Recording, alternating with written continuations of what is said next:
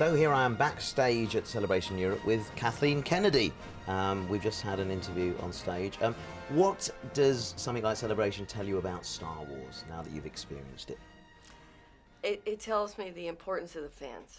The fans are everything to Star Wars, and I think, you know, this is this is a celebration, literally, where you get to see their craft, you get to see their compassion, um, you get to see how important this is to them, and you also get a sense of the generations Mm. that have followed Star Wars, because entire families are here, which Of is really great. Yeah, it is a very generational thing, isn't it, Yeah. Star Wars? Because, of course, you've got dads who grew up watching it who want an excuse to continue to enjoy it, so then show their children Right, and, and so right. on and, And so moms. forth. Yeah, absolutely.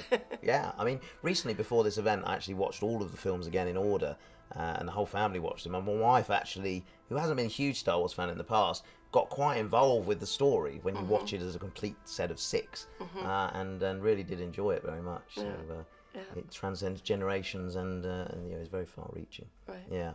Um, now I know you can't say much about the work on episode seven, but just how are things going? It's going fantastically well. I mean, JJ, we meet almost every single day. We have Michael Arndt writing, uh, had previously been with Pixar doing Toy Story and won an Academy Award for Little Miss Sunshine. We've got Larry Kasdan, who had worked on Empire and Jedi as a writer, and we have Simon Kinberg. And I think the team that we've assembled, everybody gets along so amazingly well. I, it's it's just it's been fantastic. Now tell us about the time that George asked you to to take over.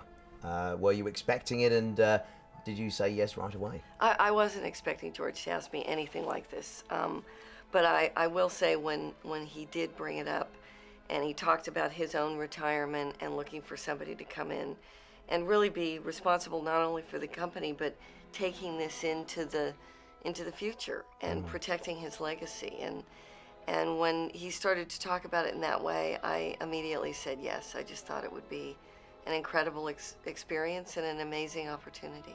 Fantastic. And uh, and in the meetings that you've had, you know, about the development of the new films, has uh, has my name cropped up at all in, the, in the conversations? Yeah, uh, actually, I, it's it's daily. daily, yeah, daily, does it yeah, it really? comes In a good quite- way.